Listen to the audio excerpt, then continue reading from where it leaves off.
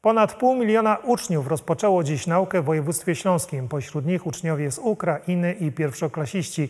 Tym towarzyszył stres i tradycyjne śląskie tyty. Nowy rok szkolny to również zmiany w systemie edukacji. O tym, jak będzie on wyglądał, opowie teraz Fatima Orlińska. Dla ponad pół miliona uczniów w województwie śląskim wybrzmiał dziś pierwszy dzwonek. Tylko w Katowicach rok szkolny rozpoczęło blisko 38 tysięcy uczniów, z których ponad 2300 to pierwszoklasiści. Tym dziś poza tradycyjną śląską tytą towarzyszyły uśmiechy, a największe emocje odczuwali rodzice. Jak mówili, to w związku z rozpoczęciem kolejnego etapu życia ich dziecka i nowymi wyzwaniami.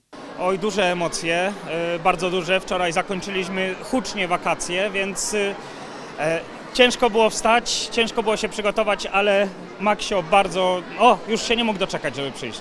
Niepokoją brak zadań domowych, troszkę tak, e, ale będzie za to więcej czasu dla dzieci, żeby, żeby spędzać z nimi, także to jest, to jest dużo fajniejsze. Jesteśmy nie z Polski i to dla mnie takie bardzo e, wypróbowanie duże. E, No i martwię się, żeby dziecko się czuło się komfortnie. Dlatego jestem zdenerwowana. Nowe wydarzenie, całkowicie zmiana praktycznie naszego życia, to już koniec przedszkola, zaczyna się coś nowego, coś nieznanego, także no to zawsze na pewno ekscytuje i troszeczkę stresuje. Wojewódzka inauguracja roku szkolnego odbyła się dziś w Rudzie Śląskiej, gdzie oficjalnie otwarto nowoczesny zespół szkolno-przedszkolny. Udział wzięła w nim śląska kurator oświaty i prezydent miasta, którzy przybyłych gości przywitali w tradycyjnych śląskich strojach. A wydarzenie odbyło się pod przewodnim hasłem Śląsk nasza kultura, tradycja i nowoczesność. Chcemy pokazać, że pięknie można łączyć tradycję z nowoczesnością. A w moim odczuciu, w mojej ocenie, tradycja to jest te korzenie, to jest bardzo ważne, więc ważny element w edukacji młodego pokolenia. I stąd ten strój.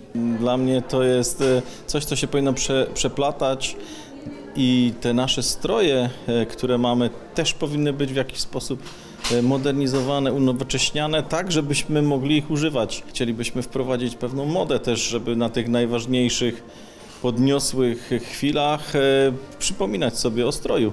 Nowy rok szkolny to również nowości w systemie nauczania. Od września uczniów obowiązuje odchudzona podstawa programowa, brak oceny na świadectwie z religii czy etyki, okrojone lektury i odejście od nauki historii i teraźniejszości.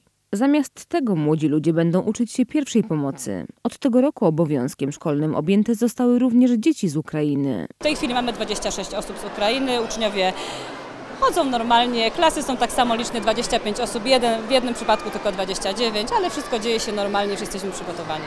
Jak podkreśla dyrektor szkoły, liczba uczniów utrzymuje się na stałym poziomie od kilku lat. Jednak według danych Głównego Urzędu Statystycznego za ubiegły rok liczba uczniów w szkołach podstawowych maleje.